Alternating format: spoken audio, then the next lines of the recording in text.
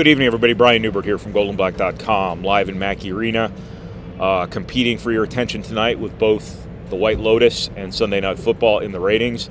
Uh, I will definitely be the most entertaining of those three options. I promise you that. This is your wrap video following Purdue's 89 70 Big Ten opening win over Minnesota. It is brought to you once again by our friends at the Purdue Union Club Hotel.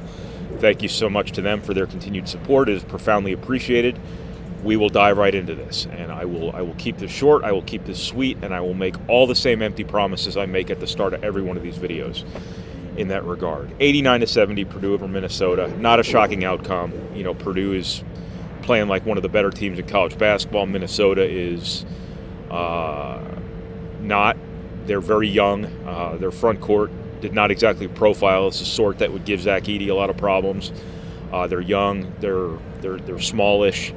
Um, didn't help that Treyton Thompson, who's at least seven feet tall, albeit 210, 215 pounds, wasn't here for them tonight. Uh, but the game, from a final score perspective, went about as you would have expected it to. Purdue wins by 19. Uh, I'm not sure at any point in time during this game did you ever worry about Purdue, you know, kind of laying an egg here in their first Big Ten game in Mackey Arena with this group. But I think the story of the game, once again, is what Zach Edey's been able to do. The Canadian is playing like an All-American, and it, it's not just the dominance. The dominance is is a big part of it, but it's the consistency. It's every game from here on out since that bizarro world 14-point game against Milwaukee that didn't even matter because minutes were being limited. It was an outlier sort of game, and not a single play in that game mattered toward the outcome. Really, ever since then, he's been 20 or more points every single game. That's seven games in a row. Um, this is just some Shaq level stuff at scale here that Purdue is getting from Zach Edey here in terms of his dominance around the rim, the way he's attacking matchups, the way he's attacking the rim, you know, things like that, the way he's attacking the glass. He's been the best rebounder in the country so far, if you ask me. I, I I've not seen the other 364 teams in college basketball. Um, but there's not a better rebounder in college basketball right now than Zach Edey. I don't know what the numbers say, but um, he's been unbelievable on the glass. And, you know, tonight he out rebounds Minnesota by himself. 22 rebounds, eight of them offensive. Minnesota gets 21 rebounds by itself. He's winning the battle of attrition that Purdue wages against opponents here from a fouls perspective, from a physical fatigue perspective. He's been great offensively. He's been really good defensively. He's been elite on the glass. He's been consistent. He's been a leader. He's making his free throws. He is protecting the rim on defense. He is making all the right decisions, all the right passes in the post. He is everything, you know, Purdue possibly could have asked him to be this year. Probably and then some. Uh, whether or not they'd say that or not, I don't know. You always want your, you always want more from your best players. I'm sure there's probably something in there that they probably would like a little more of, but I'll be damned if my eye is trained well enough to see what it is because he's been unbelievable this year, uh, and he's the single biggest reason that Purdue is, you know, surprisingly here 8-0 and number five in the country and about to move up again, and looking like a team that's going to make some noise in the Big Ten here. Um, so that's that. That's obviously the big takeaway uh, from this game. It's not a new takeaway because this is going to get to the point where it's like last year with Jaden Ivey, where I'm just going to skip right over that stuff. I'm just going to skip right over telling you after every game Jaden Ivey's really good. Um, I ought to call a moratorium on just talking about Zach Edey at all after games because you see it, you know. I don't have to tell you after every single game that Zach Edey was really good, but I probably still will. Um, the other, obviously, beyond Zach Edey, you know, Purdue really kind of flexed its offensive muscles uh, here tonight. I, I Minnesota is not a great team. Uh, they're really young. They're really inexperienced. Better days are ahead for them, I'm quite certain. So you don't want to. Nobody's going to beat their chest over what happened here tonight, but I think you're seeing more of what Purdue as a program has transitioned into from an offensive perspective, where the names change, the faces change, the skill level doesn't, the matchups don't and the approach doesn't. I think that Purdue has, is becoming one of the better offensive programs in college basketball. To be honest with you, that that might sound like overstatement, maybe, I don't know, but I didn't think Purdue played great tonight. Um, and they still get 89 points, and they still shoot 51% from the floor. Um, Zach Edey carried them offensively, 31 points, but they turned this game with three long jumpers in the span of about a minute and 20. The first being a transition three from Brandon Newman, the second one being a transition three from Fletcher Loyer, and the third being what I guess was a long two by Brandon Newman off, off a curl cut and a half court set. I thought it was a three, I guess it was a two. My mistake. Um, but it just it showed you that as much as Purdue is defined by Zach Edey, their ability to just dump a bunch of three pointers on you in a very short period of time remains in place. Also, you know, you have a four position here. Caleb Furst is two for two from three tonight. Mason Gillis, when he's playing, obviously is a big shot maker for Purdue. You just have so much skill around Zach Edey again. And this team is executing offensively at a level that I'm not sure anybody could have realistically expected right away, given how young they are in the backcourt, how new they are in their roles, stuff like that. But you know, Fletcher Loyer, Braden Smith came in here like veterans, and uh, you know, Fletcher Loyer is going to be a star at Purdue. Braden Smith's going to be a star at Purdue. Fletcher Loyer was a star tonight, 20 points, eight assists, zero turnovers uh, in his eighth college game uh, in his first Big Ten game. Um, it's pretty good. It's really good. And a lot of that stuff came at the rim. A lot of that stuff came in the lane. This wasn't him just shooting 12 threes and having one of those nights where he makes seven of them or whatever. This was an all around scoring game, an all around offensive playmaking game. Just another reminder of what Purdue has in store here these next couple years with this backcourt that's going to be in place for the long haul here, most likely.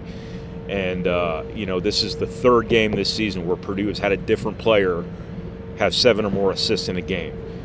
I challenge you, not just because I want to give you something to do on a Sunday night, because I know you have nothing else to do, but also I don't want to go through the trouble myself um, because I like outsourcing things to people that I don't want to do myself because I'm just that selfish, I'm just that narcissistic, I'm just that lazy. How many seven plus assist games has Purdue had for an individual in like the last 10 years? It might be a single digit um, because it's just not. Purdue very rarely has that sort of singular um, stat compiler in that particular category. Uh, normally things are, are decentralized, forwards regularly Purdue and assists, you know, stuff like that. It's normally this guy's got three, this guy's got five, this guy's got four, whatever it might be, and it all adds up to a pretty good game. But I think now that Purdue is executing at such a high level from an offensive perspective and has such skilled guys, I think you're going to see more of these games where Ethan Morton gets nine, Fletcher Loyer gets eight, Braden Smith gets seven, which are the three examples from this season thus far. And, you know, Fletcher Loyer does it against no turnovers tonight. Ethan Morton, I think, against – was it West Virginia or Gonzaga? I don't remember, but he had nine assists and no turnovers. You've just got so much offensive skill on this team, so much offensive savvy that you just have the building blocks of another really good offensive basketball team here, and the assist numbers, you know, sort of, sort of reflect it. Um, but I, you know, again, this game is just Purdue flexing its offensive muscles with the three-point shooting, the the the Zach Edey dominance, the assist numbers, so on and so forth. Um, Brandon Newman, you know, very quietly comes in, has another really good game um, off the bench for Purdue. When you have that sort of guy who comes in with that sort of mentality, and he he he makes shots, that's the sort of guy with that second unit that can really change a game for you. Um, she's got a lot of really nice offensive pieces on this team. Um, I think that uh, you know Trey Kaufman-Renn's a guy who can come in and go get you buckets. This is a guy who on a lot of teams would already be a featured go-to level scorer, averaging double double figures in scoring, averaging more than 20 minutes a game, whatever it might be. Here, Purdue has this good problem to have it forward, where Mason Gillis, Caleb Furst, Trey Kaufman-Renn are all arguably st- starting level players at a lot of places. At Purdue, under a lot of circumstances, any one of those guys would be starting, playing 25 minutes a game, 30 minutes a game, whatever it might be. Purdue, again, has too many good players out of position. That's something that coaches have to manage, but that's something that also speaks to the culture of your program is when you get guys who are in this for something bigger than themselves, they kind of get it. May not like it, but they get it. And, you know, Purdue needs that to hold all year long, the same way it, it did seemingly from the outside looking in last year. Um, but obviously, with Mason Gillis being out tonight, that opened more minutes for for Furst and Trey Kaufman-Renn, and both of those guys deliver, totaling 20 points and eight rebounds. When your second and third guys at their positions, you know, arguably come in and, and total 20 and 8 for you in their first Big Ten game of the season, you're pretty deep and you're pretty good. And, you know, Purdue is pretty deep and Purdue is pretty good. Um, beyond that, you know, tonight, the only blemish on all of this uh, tonight, and again, Minnesota is not in a great place right now competitively. Really young. Again, better days are ahead from them for them. You know, things like that. They're even a little bit shorthanded, um, but you know, Purdue giving up 43 points in the second half. I know Purdue was playing with a comfortable lead.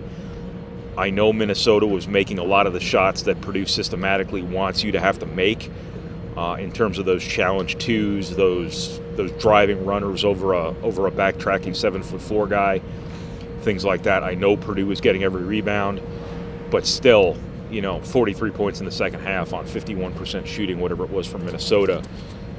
At least from a surface, doesn't look great. You don't want to make too much of it, just because this was a this was a one-sided game, and again, Minnesota, much like Florida State, was making the shots you want teams to have to make to beat you. Uh, so part of that is giving Minnesota more credit than you take away from Purdue.